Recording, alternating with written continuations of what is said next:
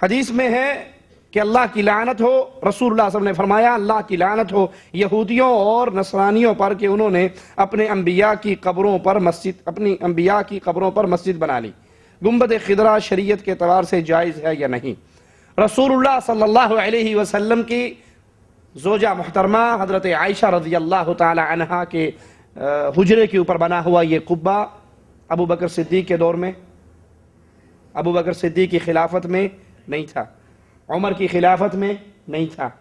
उस्मान की खिलाफत में नहीं था। अली की खिलाफत में नहीं था। हसन की खिलाफत में, अमीर माविया की खिलाफत में, ये जिन कुरून के बारे में अल्लाह के नबी ने कहा था, ये बेहतरीन अदवार हैं। उसके अंदर ये चीज़ मौजूद नहीं थी। ये बहुत बाद में, कई सौ सालों के बाद फिर ये बनाया गया। अब तो ये सबज है ना? और इस सबज के ऊपर लोगों का मजहबी सबज हो गया। कोई पगड़ी सबज है, कोई पेंसिल सबज है, कोई टोपी सबज है। ये सबज से पहले तुर्कियों के दौर में नीले रंग का था। तो अगर इसके रंग बदलते रहेंगे तो क्या मज़हब बदलता रहेगा?